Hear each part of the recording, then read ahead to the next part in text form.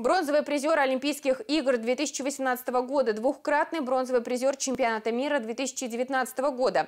24-летняя российская лыжница Наталья Непряева избрана президентом Федерации лыжных гонок Тверской области.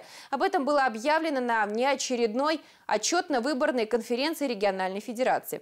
Одним из первых дел Натальи на посту президента станет содействие в подготовке судей, а также обеспечение фирменной экипировкой всех членов сборной команды области по лыжным гонкам.